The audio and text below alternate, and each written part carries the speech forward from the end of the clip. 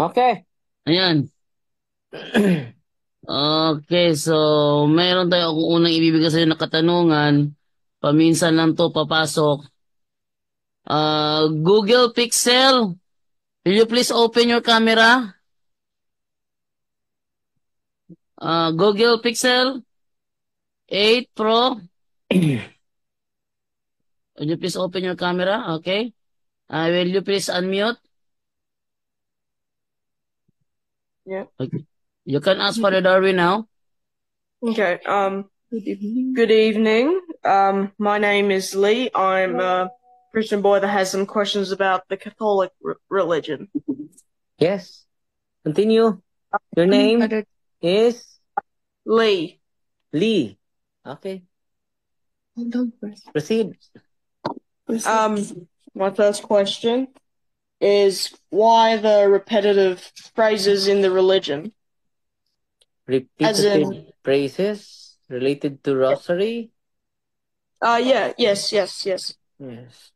Ah, even Jesus Christ repeated his prayer. Let us also quoted. Let us quote uh, Brother Jando, Matthew chapter 26, verse 47 muna. Even the Lord himself repeated his prayer.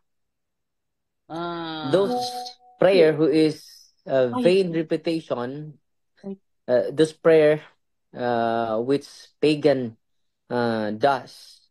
Brother Jando, can we read the Matthew chapter 26, 26 verse. 47 ba to?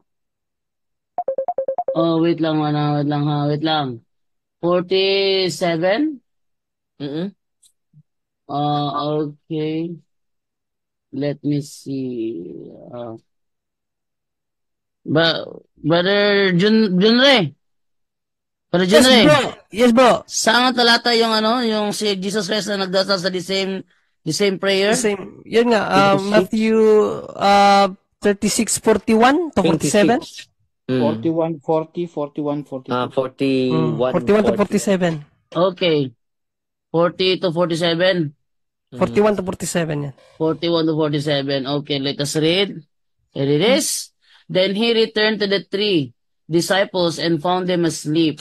And he said to Peter, How is it that you three were not able to keep watch with me for even one hour? Keep watch and pray that you will not fall into temptation. The spirit is willing, but the flesh is weak. Once more Jesus went away and prayed, My Father, if this cup of suffering cannot be taken away unless I drink it, your will be done. Your will be done.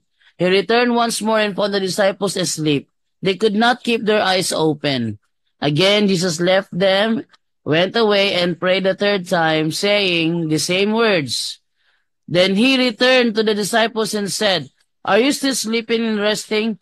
Look, the hour has come for the Son of Man to be handed over to the powers of sinners. Get up, let us go. Look, here is the man who is betraying me. Jesus was still speaking when Judas, one of the two disciples, arrived with him was large crowd armed with Bro, bro, swords and okay na. Ah, 44, 44 44. Again, 44. Jesus left them, went away, and prayed the third time, saying the same words. So here, uh, Bibi Lee, it is very clear and lucid that Jesus prayed third time, saying the same words, meaning a repetitious prayer. It is not forbidden before the eyes of the Lord, bro. Ay, Bro, uh, Father. Darwin, even the Yes. angels in heaven prayed uh, repetitive prayer uh, Yes. from day to night. Uh, can you please read, Brother Jando, Revelations 4, verse, uh, verse 8, Brother Jando? Revelation chapter 4 verse 8 it says, Each one of the of the four living creatures had six wings, and they were covered with eyes inside and out, day and night, and they never stopped singing. They never stopped singing. Holy, holy, holy is the Lord God Almighty, who was, who is, and who is to come. And night, Mm. they, they never stop. They, they never stop praying. They never stop praising. There's no overdose in praising the Lord, Bibili. No? everything which is good, it is very nice to repeat. Like for instance, you when you uh, eat, no, you will uh, repeatedly uh, uh, in English na pagsubo, Brother Jando. Pagsubo. Oh, repeatedly uh, Feeding. feeding your repeatedly uh, pag sa anong English ng uh, balik-balik sa paghungit brother Jando Ah, yan ang magiging problema natin ngayon. mm. You can So- always say eating it repeatedly, uh, repeatedly or constantly, Father. constantly no eating so that uh, we will be uh, filled in our and, and uh, we will be filled. So it is not uh, forbidden to pray biblically and it is also attested uh, from uh, the scripture Matthew chapter 26 verse 44 and Revelation chapter 4 verse 8 so it is not contrary to the Bible. So what is the forbidden repetitious prayer? Those prayer who is vain. Uh, we can read also in Matthew chapter 6 verse 7. Kindly read Brother Jando. It says, when you pray, do not use a lot of meaningless words. Less words. That's So, meaningless words. mm, as the pagans do. So uh, it is very clear here the prayer uh, that uh, is meaningless, uh, it is not worth to be repeated.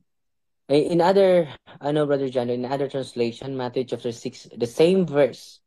The same Brother verse, 67. But when ye pray, use not vain repetitions. Uh, this is now the, the, the most essential note, uh, biblically. Uh, the thing that the Lord forbidden is the vain repetition.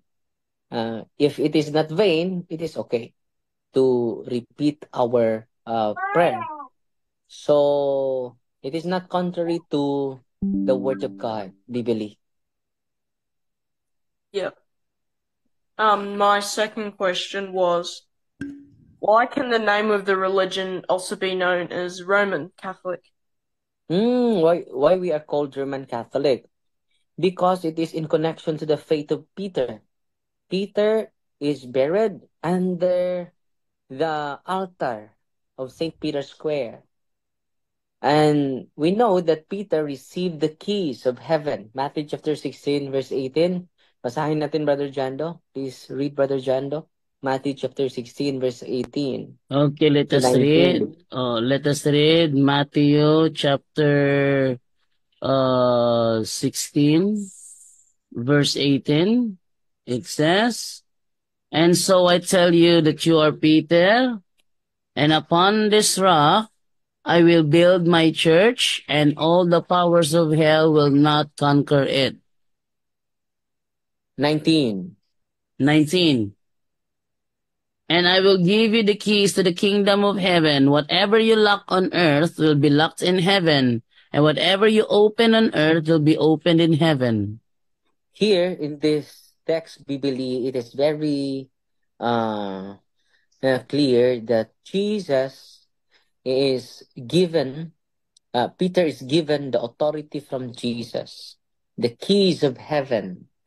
And we need to be connected to peter. That's the reason why the catholic church the uniqueness of the catholic church uh, one of the descriptive name is rome connection to Peter. No, but uh, it it is it has uh, uh it has a lot of uh Christian denomination using the term Catholic, but they are not Roman. Even the Seventh Day Adventists, they also claim that they are Catholic, that they are not Roman, meaning to say they have no connection to Peter. And the Catholic Church, founded by Jesus Christ, is connected to Peter. That's that's the reason why we have a descriptive name, Roman Catholic, in communion to the faith of Peter. Meaning to say, the Roman Catholic Church has apostolicity, has connection to the apostles. Therefore, this Roman Catholic Church is the one through an original church, we believe. That's the reason why we use the term Roman to connect ourselves to Peter, because Peter, uh, with the attestation of archaeologists, they attested that Peter is buried under the Saint Peter's altar. Mm. Under the altar, uh, the the bones of Peter uh, are buried there. No, so that's historical, archaeological, and biblical, and historical uh, attestation in relation to our theological claim. And that claim is that that claim is not just an ordinary claim. It is grounded with this history. It is grounded by archaeologists. It is grounded by biblical foundation and tradition, apostolic tradition. We. Father, you can also include uh, the text of First Peter chapter five verse thirteen Yes. that Peter went to Rome. So maybe he was thinking, is Peter went to Rome? Of course. Uh, First Yes. Peter chapter five verse thirteen, uh, bro Jando, living the living living Bible, living translations. Okay, let us read First Peter chapter 5 verse 13 in the Living Bible. It says, The church here in Rome, she is your sister in the Lord. Send you her greetings, so does my son Mark. So he's writing Mhm. uh, Mark, no, uh, from that time, the Saint Peter, I mean Peter is in Rome, and uh, according to the Catholic Church, I mean even the church and the, and the uh, church history, um, uh, you can you can Google it. You can try to Google it. Uh, Peter was um, was also died in in Rome. So because of the first pope and Peter, were, because of the apostolic succession, we should be under the apostolic successions. And Peter went to Rome and he died there. So as simple as that. And now he, Father Darwin is saying that the the bones or the remains of Saint Peter is in the under the altar of the Saint Peter Basilica, and you you can trace that in the history books or any any in any platforms, uh, brother, uh, Father Darwin. And uh, if I may add, Father Darwin, no? Uh, Yes. why why i- it, it is called Roman Catholic uh, brother, brother lay? Uh, because on their time, no, at their time, uh, the faith that was proclaimed, strongly proclaimed throughout the whole world, was the faith in Rome. No? So, uh, Brother Jando, uh, can you please read uh, Romans 1 verse 7 8 in NIV Bible Brother Jando?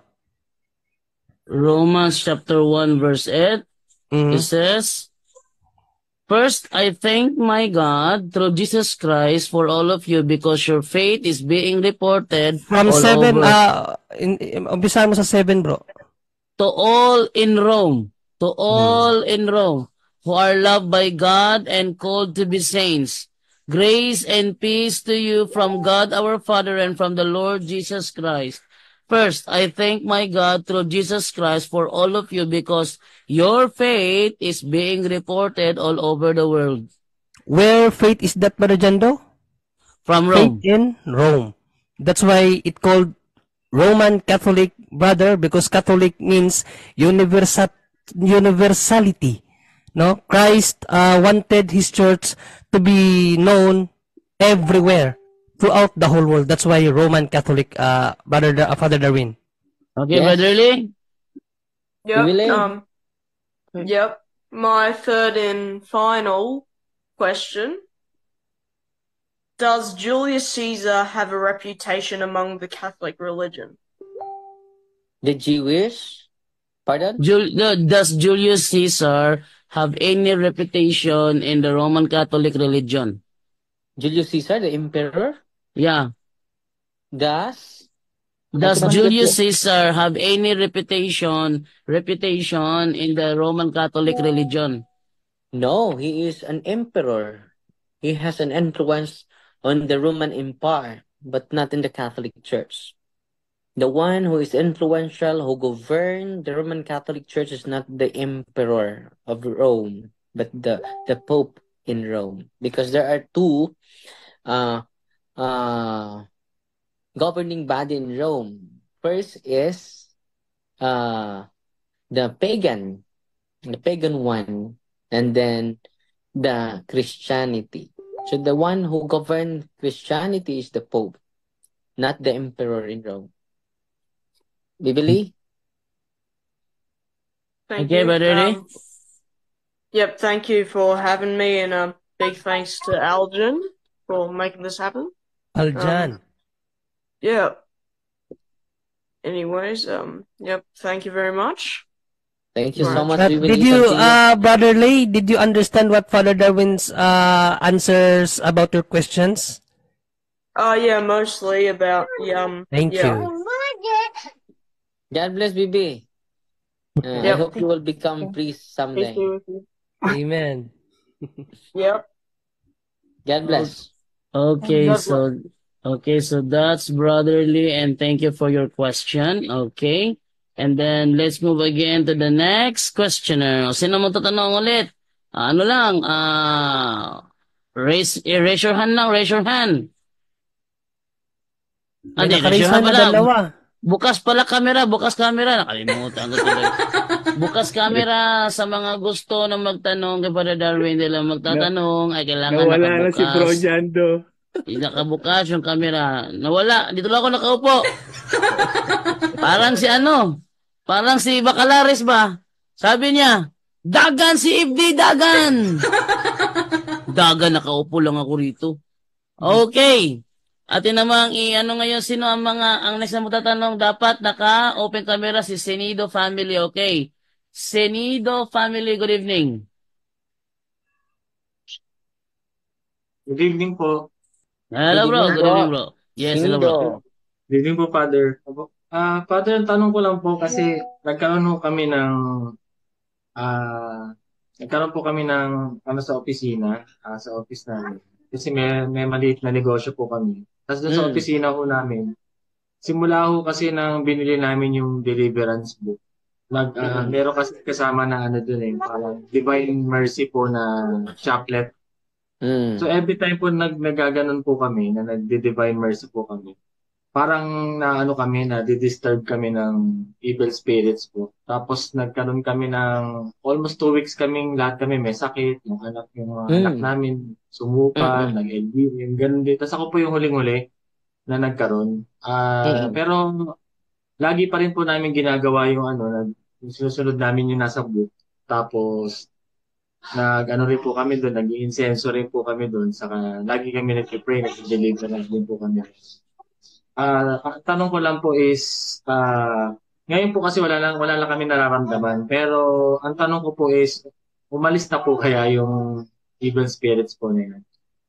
Ah, ah, ang pinaka-importante, alis sila at hindi, importante lumago yung pag-ibig mo at yung pagmamahal mo sa Panginoon. Nasa paligid lang sila, di ba? Ano Pedro 5.8. Basahin mo, Brother Jando.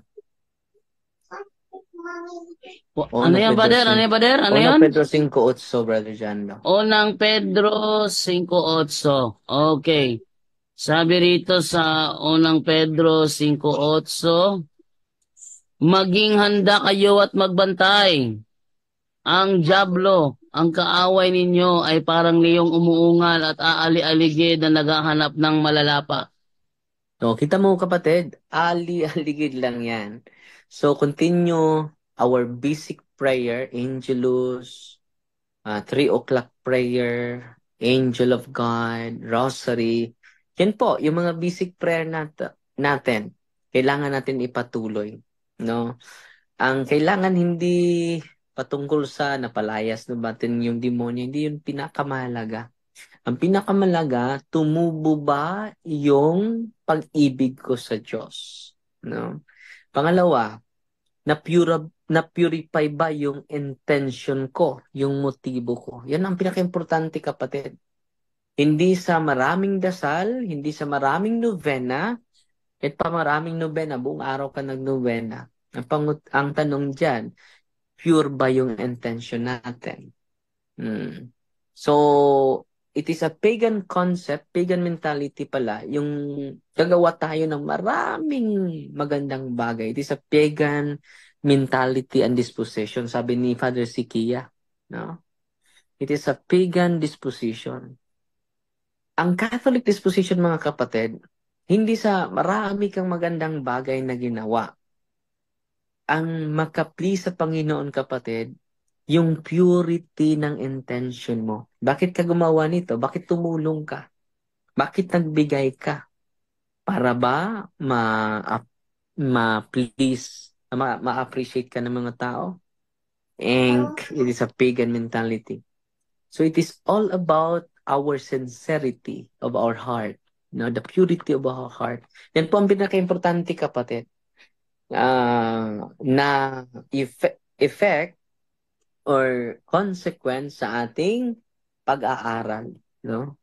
Na lumago na yung pag-ibig na the best protection is at hindi pa lumayas yung demonyo, lalayas man hindi, lumago yung ating pag-ibig sa Diyos.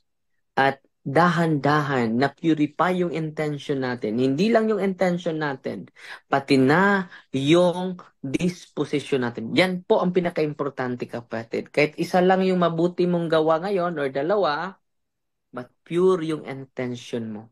Yan po ang makabigay sa atin ng leading us to peace, authentic peace, authentic joy, authentic uh, consolation kapatid. Okay?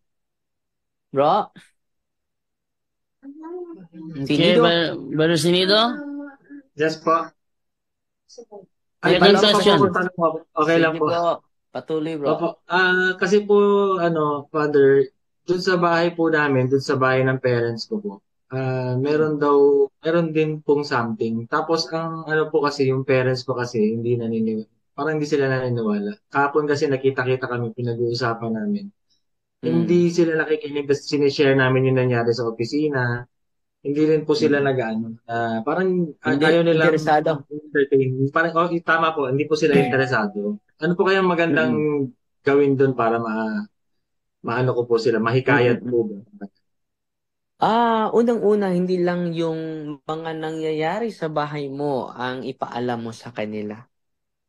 Ang dapat ipaalam mo sa kanila is catechism. Yung kaalaman mo sa mga teaching ng simbahan dahil meron diyang gravitational force eh. Na, gravitational pull. Hihila yan.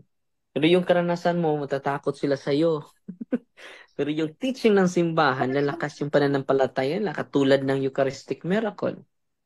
Isi-share mo po yan with scientific uh, proof and uh, diagnosis sa mga doktor. Hindi po yan basta-basta.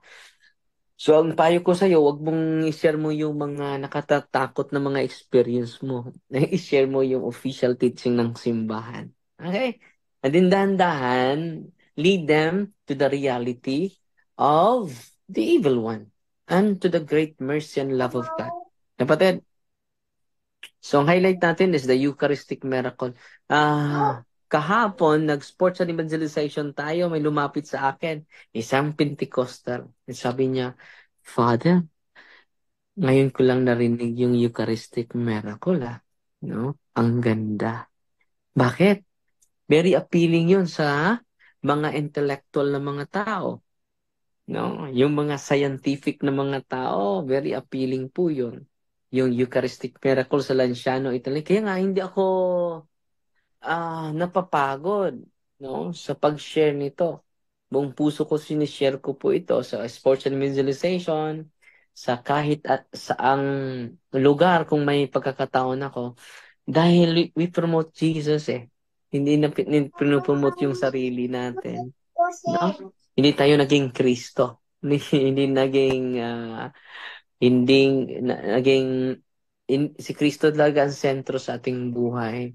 Yan ang isi-share ninyo, yung Eucharistic Miracle sa Lanciano, Italy, Buenos Aires, and then sa Poland, at madami pang iba. Yung mga scientific, with scientific proof, studihan mo yon at isi-share mo yon sa mahal mo sa buhay, and they will be amazed. Okay? Bro, Okay, Brother God bless. Sinido, ik- ikatlong tanong. Ay, Father, Yes. um, pahabol, habol lang po. Yes. Um, kasi po, yung parents, yung nan, yung mama ko po kasi, um, yung mga lolo namin, may mga occult practices. Tapos yung mama ko po kasi, since dahil taga Cebu, Mm. since taga, taga Hello, Cebu po kasi yung ma- mama ko, ah yung mga, yun po, yung parang generation to generation, napapasa po yung um, yung mga occult practices. Eh, Opo. saka lang po namin nalaman, Father, nung in-introduce kayo sa amin ng kaibigan namin Mm-mm. sa Facebook po, um, na mga mga bawal pala, sobrang dami pala kaming natutunan na bawal dun sa mga lolo't lolo namin. Nasabi ng mama nga po, ng mama ko is, mas maganda daw maniwala sa mga, mga sabi ng mga matatanda. Pero, yun nga po, nalaman namin na mali nga po pala yun. Yung mama ko po ngayon po, ang tanong ko po, sorry po. Tapos po, ang tanong ko po is, um, paano po kaya namin mahikayat yung mama namin? Um, kasi po ayaw niya po bitawan yung kanyang mga, yung kanyang Latin. Since, um, yung pag naglalatin po kasi siya, sabi ng bunso namin, nangingilabot po yung bunso namin pag naglalatin po siya. Kasi, um, na, parang natatakot po siya.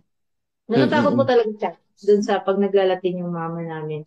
Tapos Mm-mm. ngayon po, may sakit po siya, ganyan, yung puso niya is 30% na lang. Eh, gusto Mm. namin sana na na mag magkumpisal. Eh, yung ka saka, magkumpisal. hindi, yung, hindi po eh. Um, yung, actually, Mag- father, yung, yung ah, pang-apat naming kapatid, Mm-mm. nag-suicide last year, August. Abdulens, anong pangalan niya? Ah, Hermes Junior po. Hermes Bungkaras Mm. Junior po. Isasali ko sa misa ko. Si Hermes Jr., no? Opo, salamat, Father. Hermes Jr. Isali natin sa misa. Opo. Hermes Jr. So, Ayun po. anong gagawin mo para ni Opo. nanay? Una, Opo. may may karanasan ako sa ay may nabasa ko kay Father Sikia na ang dami ng mga pare pumunta sa kanya na isang may sakit. Mga higit na sa na 20 ka mga pare pumupunta sa kanya. Tatalikod lang siya. No? Hindi ko kailangan ng pare. Pati madre pupunta doon. Nagkatikais na. ah. Hindi papasok sa kanyang isipan. At just imagine lumabas siya sa, sa ano, lumabas siya sa hospital dahil ang kulit ninyo, hindi talaga ako mangungumpisal. Kahit sino pang Panginoon na bababa sa langit, hindi ako mangungumpisal. Ah, very, ano, ah, ah, matigas yung puso niya. No? Ang nangyari mga kapatid, ah, umuwi siya sa bahay, then na, na hemorrhage. Ah, ah, hope against hope na yung pamilya. No? Kumuntak pa rin ang pare, hindi pa rin nag, na, ano. So, anong nangyari? Kumuntak sila ng exorcist. Yung exorcist, walang sinasabi. Hindi nag, hindi nagkatikais. Hindi nag-evangelize katulad ng previous na mga pari at mga madre pumupunta doon dahil yung pamilya niya ay very religious. Malapit siya na siya matay. Ang ginamit, alam mo, ang ginawa ng pare, mental silent prayer lang ng exorcism. In the name of Jesus of Nazareth, just tremendous powers God, yung prayer of deliverance lang. Hindi siya nag, ano, nag, hindi vocal yon Mental lang ang ginawa ng exorcist. Alam nyo, after sa prayer na, yung may sakit, sabi niya, Father, turuan mo akong mangumpisal. At, nung nakakumpisal na, grabe yung mga luha. Umiyak talaga siya. So, the reality of evil spirit, di ba? So, anong gawin ninyo? Dahil hindi mo kaya nyo katikisim. Mayroong mga taong ganun. So, gamitin nyo yung sacramentals of the church. Okay? At sabi ni Father Sikia, sana hindi i-underestimate ng mga pari ang mga sacramentals ng simbahan. No? Dahil yung mga mga kapatid natin, yung mga occultista, mga occult practitioners, they are so, ano, uh, na-brainwash na sila sa false knowledge na kanilang natanggap. At Matthew chapter 15 verse 9, uh, hindi natin ipalaganap yung mga aral na galing sa ating mga ninuno. Kundi ang, kundi ang aral ng Diyos. Okay? Anong pangalan ni nanay? Leonida po. Leonida. Isalin natin, son, for enlightenment and guidance. Leonida, son. Son. Leonida. Okay? Opo. Sasali ko din sa dasal ko. At sa prayer namin sa misa. Okay? All is well. Thank you, Father. God bless, mga Thank you kapatid. Pasensya na po kayo dahil na late po ako ha. Dahil nagmisa ako ng patay mga kapatid. Pasensya na po. Brother Jando? Bro, bless. Yes. Oo. Ah, okay, so atin naman isunod naman ngayon ang isa man na magtatanong ngayong gabi. Ito naman ako kay Makamay Elsa. Ate Makamay, good evening. Please unmute. Please unmute. Unmute, unmute. Click yung unmute screen.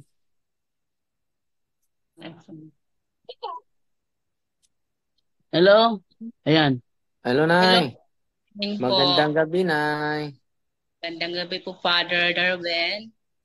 Ah, lagi po akong nanonood sa inyong YouTube channel at saka sa Facebook sa live. Ngayon po, itinatanong ko po kasi yung ano ko, yung pamangkin ko po, lagi pong nagkakasakit. Ah, mayroon siya, ano nga ang sakit mo? Hyperthyroidism at saka ano doon yung mga sakit? Cyst. Cyst na sa, sa kanyang breath.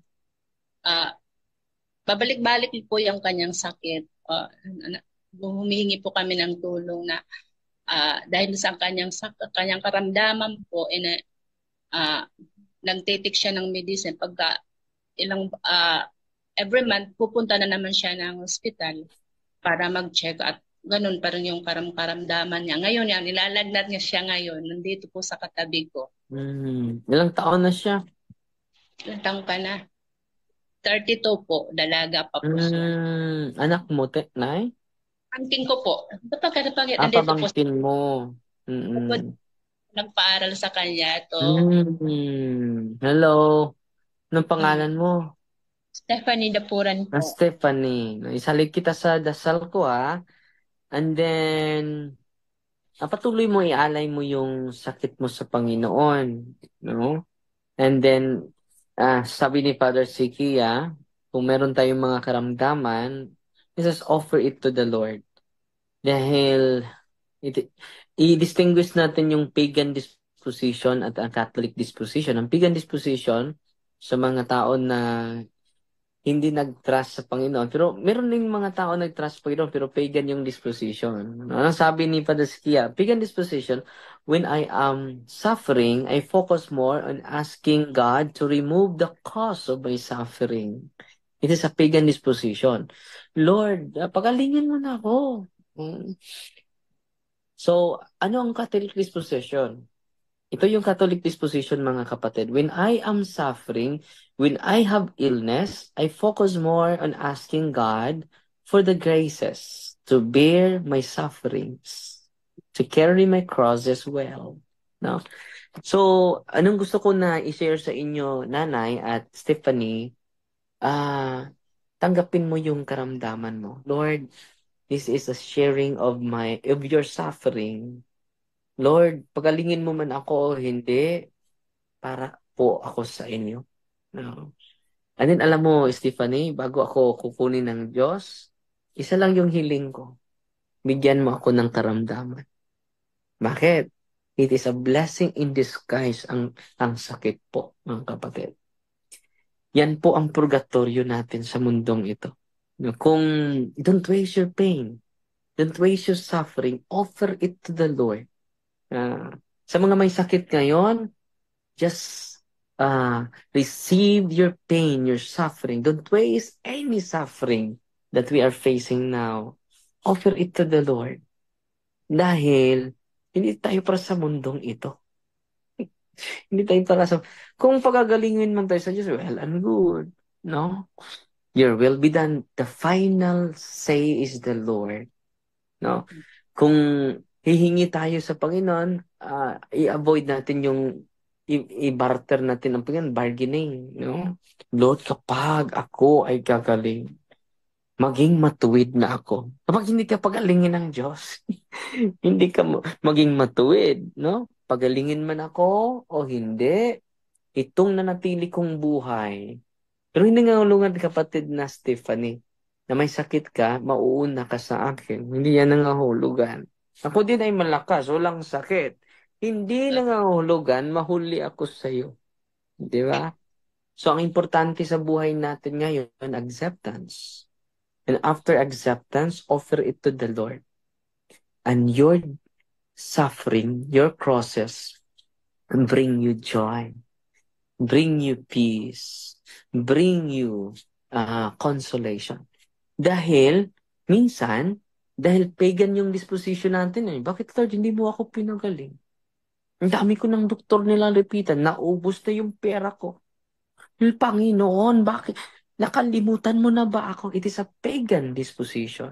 Ang Catholic disposition, Lord, give me the courage, give me the graces, give me the strength to carry my cross well. And then, dahil proper na yung disposition mo, yung disposition natin ay very Catholic na, kamat may. Lord, pagalingin man, uh, man ako o hindi, pagilingin mo man ako o hindi, dahil ito yung kalooban mo, ito yung pinaka-the best sa akin. Okay? And then, continue to embrace your pain, kapatid. Thank the, you po, uh, uh, the thing that save us is not the healing of Jesus, not the preaching of Jesus, not the exorcism of Jesus, but the climax of our salvation because of the suffering of Jesus. No? Why we suffer? Because it is for our purification, not only for our purification, but it is for our own sanctification and salvation. No? Stephanie, don't waste your pain, don't waste your suffering, offer everything to the Lord. Everything is a grace. Siguro dahil sa sakit mo, nagkaisa kayo sa iyong pamilya. Uh, and then na-unite kayo as a family na unite ka din sa Panginoon. Yan po is the greatest liberation. It is the greatest uh, realization and conversion, the metanoia, the change of the heart. Yan po ang pinaka-importante. Yung change of our disposition. Ang daming pupunta sa akin. Ang disposition ay pagan. Sana mahipo ako kay Father Darwin at hindi nahipo. hindi na lapitan dahil ang daming tao. Nagtampo sa Panginoon. Hindi ko nalapitan si Father Darwin. Hindi ako naka-attend sa misa niya. Yung misa niya ay healing mass. By the way, all masses are healing mass. No? Because Jesus, because God is Emmanuel. Jesus is Emmanuel, meaning God is with us. So, sa'yo, Stephanie, kung kaya mo pa magsamba araw-araw, just do kaya, it. Kaya niya po. So, nagtatrabaho po siya sa... Wow! So po sa isang, sa isang office. Mm, that's Yan good. Po. Receive the Eucharist every day. That's Sinasabi, the greatest. Lagi siyang magsimba, dumaan muna sa simbahan, wow. mag tapos ano, magkumpisal siya. Sabi yes, ko sa that's good. Uh, kuan, pag lagi ka magsasimba sa sa Panginoon, uh, sa uh, mag magkumpisal siya, yan ay ano, uh, sacrament of healing, completion. Mm, totoo. And uh, lagi siyang magkomunyon sa That's good. Patuloy, Stephanie, ha? Ano pa yung tanong mo, Nay? Ano po? Ano, tinatanong ko po, sa kayong, panganay ko po yung anak ko na si Rayaro, may asawa na siya. Tapos po, na, nalaman niya ng isang isang taon na yung asawa niya ay merong katsat, di ba? Tapos, mm. nalaman niya na nag, nagkaano yung asawa niya, mayroong upper sa ano, sa Mm, master sa iba. o oo, hindi na siya ah mula no ano sa mga higit isang taon na ah, lagi siyang nag- nag-anxiety, Mm, depression. depression. Mm, dahil sa ginawa ng asawa niya. Oo, oo. Tapos minsan hindi makausap ng matino. Mm, Sinasabi- grabe yung depression niya. Sabi. Tapos sabi ko sa kanya, magsimba ka, hayaan mo na siya. Tapos ayaw naman siyang, ano, hindi siya nakikinig pag sinasabi ko na magsimba ka siya. Mm. Magsimba siya. At kahit hindi linggo, sobra naman laman na siyang trabaho, lagi na magpupunta. Yun, nun, minsan nagtatampo ako sa kanya. Kan- Mula noon, nung dalaga pa siya, sa hanggang ngayon, nag-asawa na siya, hindi talaga siya pumupunta ng simbahan. Mm-mm. So, do prayer for liberation sa kanya, Nay. And then, hindi yan papasok yung catechism without liberation prayer. So, yung prayer of liberation, makatulong po yun, Nay, para sa kanya. Dahil, grabe yung frustration niya, yung disposition niya ay parang ah ang kasiyahan niya ay na-attach sa tao lang, no? Oh. Yung kasiyahan natin ay hindi sa tao, hindi sa bagay, kundi sa Panginoon lang. Wala nang iba po. Kung we are so attached or slave by a person or by position or by money, hindi tayo maka ah maka makaobtain ng tunay na kaligayahan. So make uh, liberation prayer na sa kanya. And then uh, continue to catechize him. And then use the sacramentals of the church na. Opo, kaya lagi po ako na, lagi na lang po ako nasa simbahan. Yun lang ginagawa ko para sa mga pamilya ko, sa That's good. anak ko. And Ah. trust everything to the Lord. Mm. Nakapangyarihan ng Diyos. Just trust Him. Sa pamilya namin, ako lang laging nagsisimba. Sila Mm. ko sila, sabi ko sa kanila, pag linggo, wala naman kami kayong gagawin. Lagi ko yung magpupunta sa simbahan. Kasi sa linggo, isang oras lang naman yan. Uunahin Nay, palagi ang na, una na i-catechize niyo siya sa Eucharistic miracle. Ha? Yung Eucharistic miracle, i-share mo sa kanya. Yung nangyari sa Lanciano, Italy. Dahil kapag mag-invite ka lang and then wala silang knowledge, hindi yan magsakripisyo. So yung sakripisyo niya, Nay, ah, mag, mag-ugat yon sa pag-increase ng kanyang ah, kaalaman. So, share mo yung Eucharistic miracle sa Lanciano, Italy, Buenos Aires, yung katawa, ah, yung tinapay naging tunay na laman, yung alak naging tunay na dugo ni Kristo. Yun, i-share mo yun. Okay? Nisi-share ko sa kanya nga palagi yung mga mass mo, yung mga mga healing deliverance mo. Pero may, lagi kong in-share sa kanya. Mm, Pero that's good. hindi nila binabasa. Ah, eh, tipunin nyo sila and then mag-catechize ka sa kanila. Lalong-lalo na yung Eucharistic miracle na yung Eucharistic miracle. I-highlight mo yung Eucharist na At sabi niya, huwag kayong mag, ano, magpagod sa tinapay na malalanta. Ang anak ng Diyos ay may bibigay sa inyo yung tinapay na hindi malalanta. Mm, it will lead us to eternal life. And then i-connect mo siya sa Eucharistic Miracle na with scientific proof po yan. Yan ang i-share mo sa kanila. Okay? God bless na. Maraming salamat. And then, malapit ng oras, Brother Jando. Mag-blessing na ako. Okay, brother, go ahead.